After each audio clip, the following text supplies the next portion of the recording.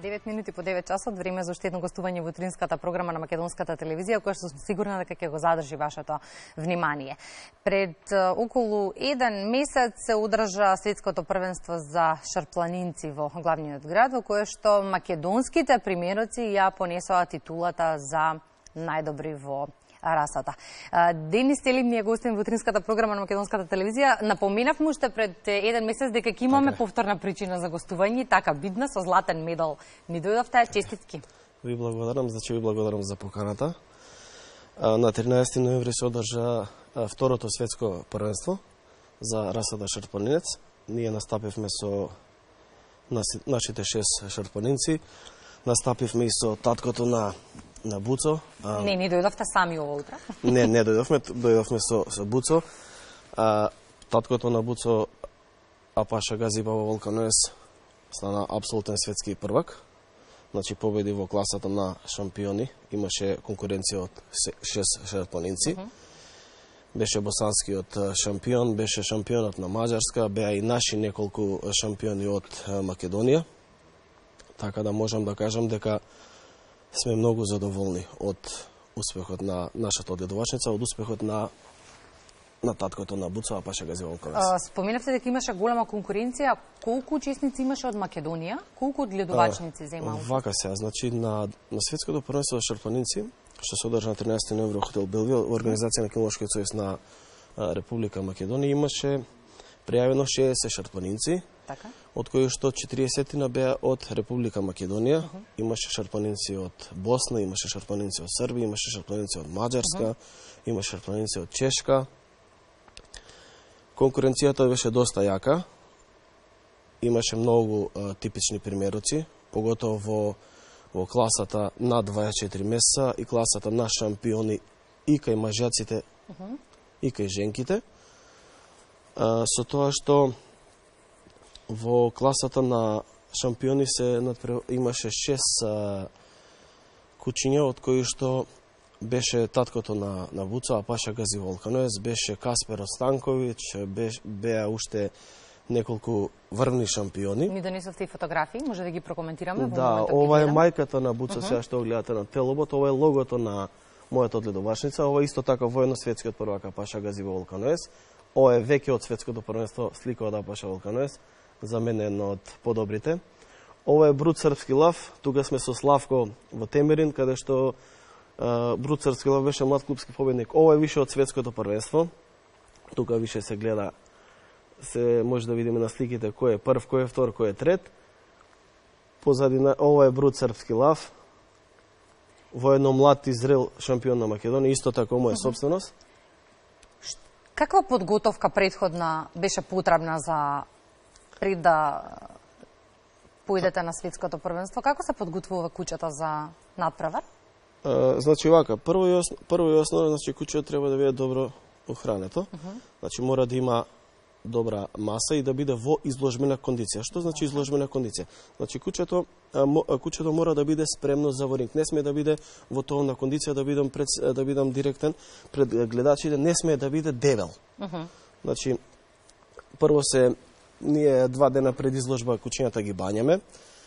После тоа ден, на, на, на самиот ден на изложбата кучињата се грумираат, им се става специјална пудра 2 часа 3 пред изложбата, се фенираат кучињата и Па така... се прошета, дошол на гости, ника, ко види сте. Добро, не малко и он е малко и темперамент нема на кого. Не замеруваме, гости ние, да. гостите имаат слобода да прават што сака. Нема, Добро? Нема, нема на кого.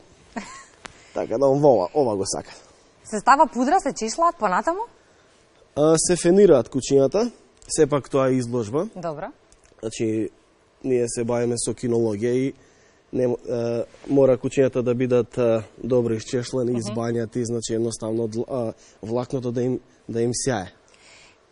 Кои беа критериумите врз основа на кои што се оценуваше на светското првенство? Ова е многу добро прашање. А, Вака се, значи судиите, господинот Миле Алексовски и господинот Бранко Тасевски, беа многу строги тој ден. Значи, сепак се работеше за светско првенство uh -huh. и мораше да, да постават некои критериуми. Така. А, они судеа доста, доста строго, значи немаше судење. А, можам да кажам дека судењето просекот на на на, на оценувањето беше 4.00 на цела изложба. Значи не може да биде 5.00. Не може сите не може добро, мали? Не може сите куќиња да бидат а, а, оценети со 5. Значи Така. имаше куќиња кои што имаше куќа кој што беше дисфалификувано поради недостаток на премулар, тоест на ЗАП. Имаше имаше куќиња кои што беа пенализирани, тоест оценката им беше намалена на 4 затоа што има клешташто завало, мора шрпнецот мора да има ножичесто завало. Имаше куќиња кои што беа дисвалификувани затоа што не беа во изложбена кондиција, во, изложбена кондиција со длаката, беа без длака. Значи, стандардот вели од 7 до 12 см мора да биде длаката. И можам да, да, да кажам дека ова светско првенство ќе се памети по тоа што судиите беа доста строги. Значи, они дадоа смерници.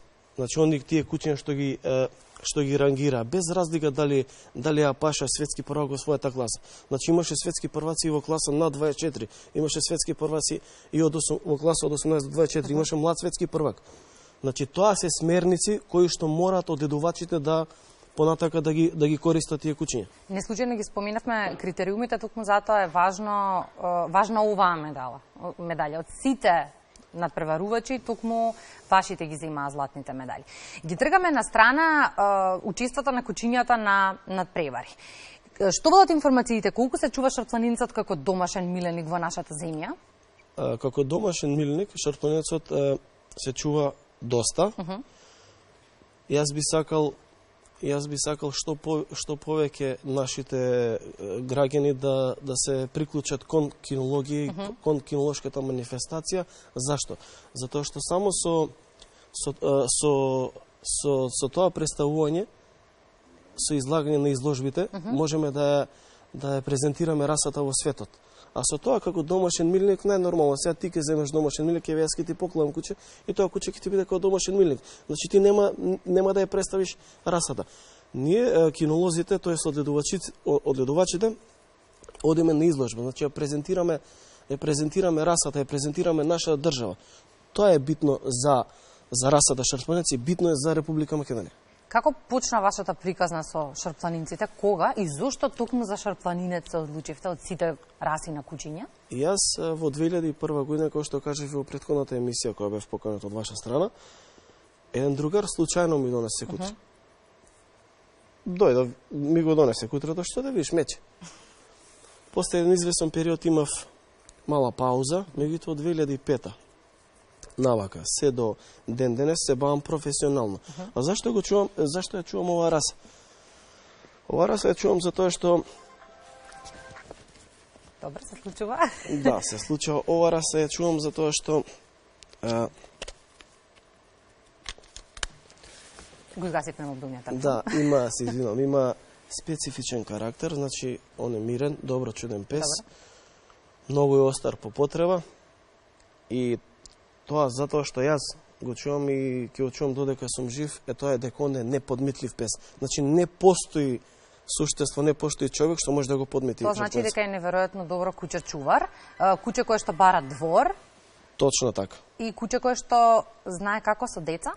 Точно така. Значи, шарпланинецот, значи може секое секое дете да го да го гали. Никогаш нема да нападне дете. Он е во состојба и животот да го даде за за, де, за детето. За што се подготвувате на редниот период и со кое куќе? Дали гостинот наш ќе го видиме некаде на некој надпревар во брзо време?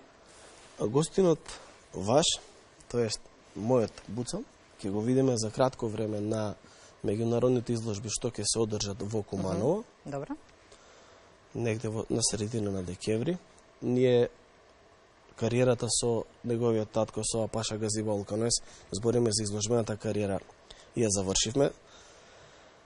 Со тоа што од следната година настапуваме со подмладок, ќе настапиме со Буцо и со неговата сестра и со, најнормално ќе ќе се надпреваруваме и со не- незината мајка.